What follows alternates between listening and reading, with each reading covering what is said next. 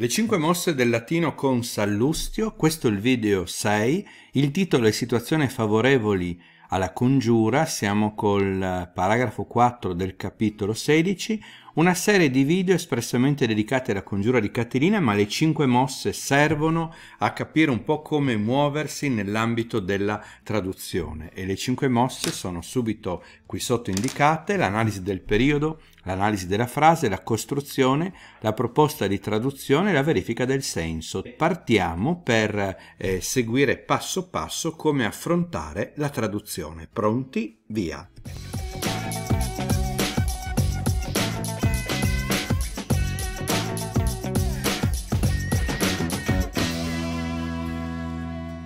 La prima operazione da compiere è l'identificazione dei verbi che evidenziamo. Abbiamo un participio perfetto, poi abbiamo un erat, predicato verbale anzi nominale con ingens erat, poi abbiamo un usi da utor, uteris, usosum uti, un participio perfetto, eh, verbo deponente, exoptabant è il predicato verbale, un imperfetto da exopto, exoptare, poi abbiamo opprimunde rei publice, si tratta di un costrutto particolare, si tratta di un eh, gerundivo, lo riconosco perché noti la concordanza tra opprimunde, che poi sarebbe opprimende, la U sta mh, di casa nel uh, discorso degli storici. Gli storici spesso ricorrono ad arcaismi, ma noi lo leggiamo nel latino classico come opprimende rei publice. Data la concordanza tra opprimendus a um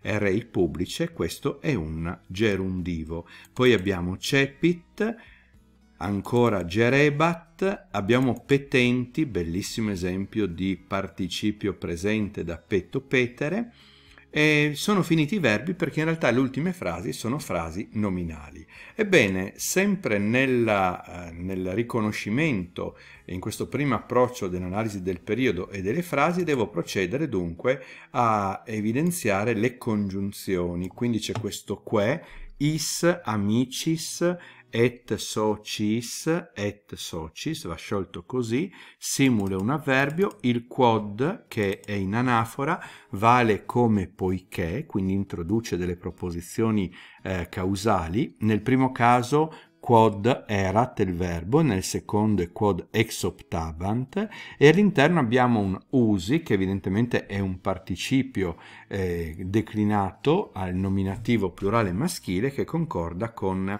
plerique sull'ani milites, la maggior parte dei soldati di eh, Silla. Dopo i due quod eh, abbiamo finalmente il verbo principale che è cepit. Cepit consilium opprimende rei publice.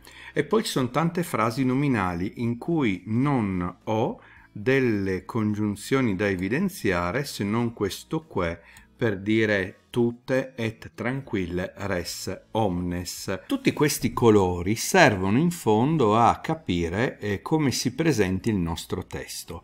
Il soggetto è lì, è Catilina, nella prima riga, di cui si dice confisus, si costruisce con il dativo, quindi è confisus, is amicis, et socis, his, dativo plurale da ic, ec, hoc, pronome aggettivo dimostrativo, simul quod es alienum, es eris è il bronzo, il bronzo stra- estraneo, quindi il debito, è un'espressione es alienum per indicare il debito, era tingens per omnes, arcaismo omnes terras, complemento di moto per luogo, et quod, soggetto plerique sull'ani milites, usi suo, suo da sus a um è aggettivo sostantivato, aggettivo neutro e questo largius è interessante perché sarebbe large ius, una forma di comparativo.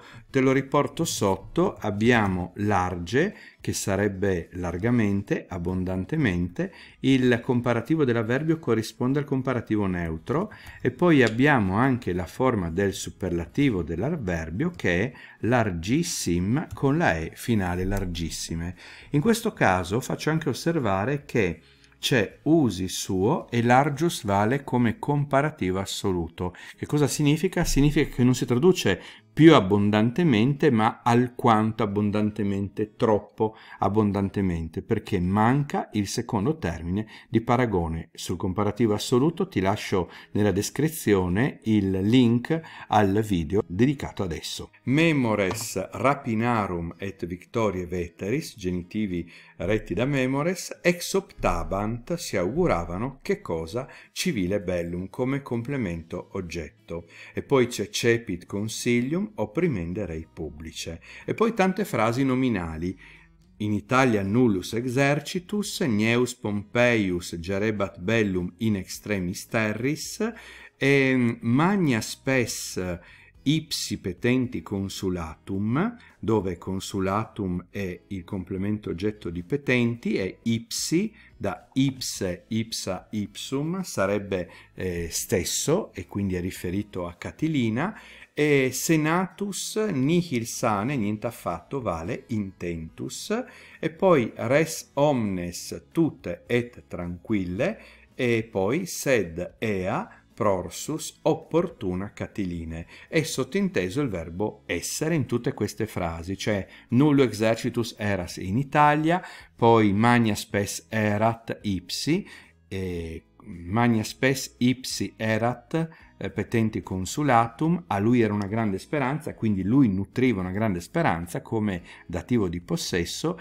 il Senato niente, niente affatto vigile, era, non, era, non, era, niente affatto vigile e la situazione, tutte le situazioni erano, erano tutte tranquille e poi eh, erant opportuna catiline. A questo punto posso procedere con la costruzione, quindi metterò catilina, poi confisus, con il dativo is amicis et socis, va così, poi c'è simul quod aes alienum erat ingens per omnes terras, abbiamo detto, et quod eh, plerique sull'ani milites, io metterei così, metterei una virgola per isolare questa forma di eh, participio usi suo largius, l'avverbio, e poi ancora aggiungiamoci subito un memores rapinarum et victorie veteris. Sto facendo la costruzione in diretta con te per farti capire come i termini vadano effettivamente spostati, come vadano visualizzati in una situazione, in una posizione differente, perché in fondo questo è, implica la traduzione. Altrimenti tutto il discorso di analisi morfosintattica non serve a niente. Invece è funzionale a capire dove poi dovrò inserire, dovrò eh, porre le parole cepit, consiglium, opprimende rei publice. In Italia nullus exercitus.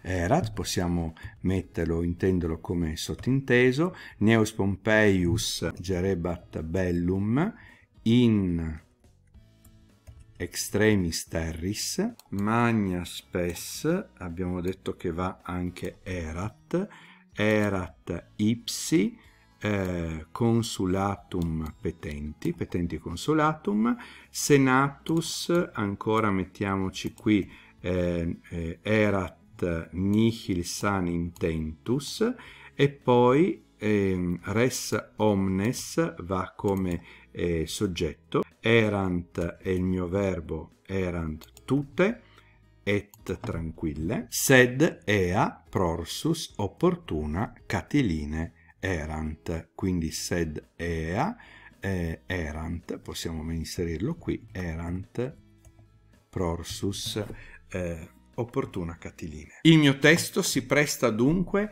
alla mia proposta di traduzione. Perché proposta? Perché bisogna fino all'ultimo considerare che qualcosa potrebbe non quadrare, non tornare e quindi bisogna essere disposti a metterlo nuovamente in gioco. Catilina, confidando is amicis et socis in questi, meglio che tali, in questi amici ed alleati, allo stesso tempo, poiché per omnis terras, per tutte le terre, il debito era ingente, et quod e per il fatto che plerique sull'ani milites, la maggior parte dei soldati di Silla, usi suo largius, avendo fatto un uso alquanto dispendioso dei propri beni, del suo sarebbe letteralmente, memori delle rapine e dell'antica vittoria ex optaban civile bellum, si auguravano la guerra civile. Rispetto a tutto questo, che cosa fa Catilina? Finalmente la principale,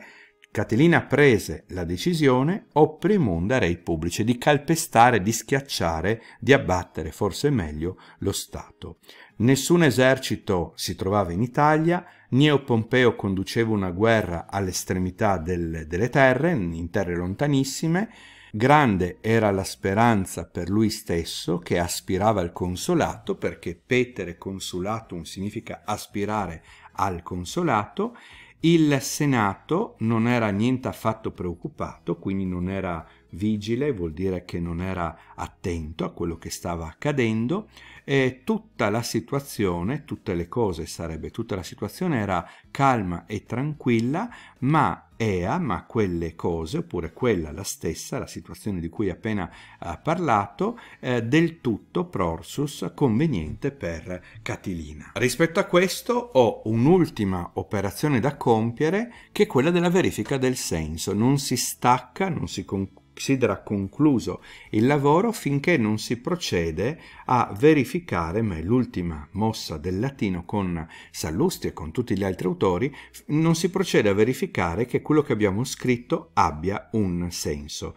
Allora, con parole tue bisogna ripercorrere il testo e capire che cosa Sallustio abbia voluto scrivere, quali sono i temi che emergono, gli argomenti sui quali ha puntato per questo breve brano. Qui risulta che Catilina confida in amici e in alleati, sono detti questi, quindi ne ha parlato prima, e situazioni favorevoli sono il fatto che eh, ovunque c'erano alti debiti, quindi bisognava, si era una, una condizione di costrizione economica, consideriamo anche che gli stessi seguaci di Silla, degli eserciti di Silla, avevano speso in lungo e in largo, eh, si ricordavano di quello che avevano potuto potuto effettuare in termini di rapine oppure rievocavano le vittorie del passato e tutto questo li portava a desiderare la guerra civile. E per questo Catilina pensò che fosse giunto il momento di ambire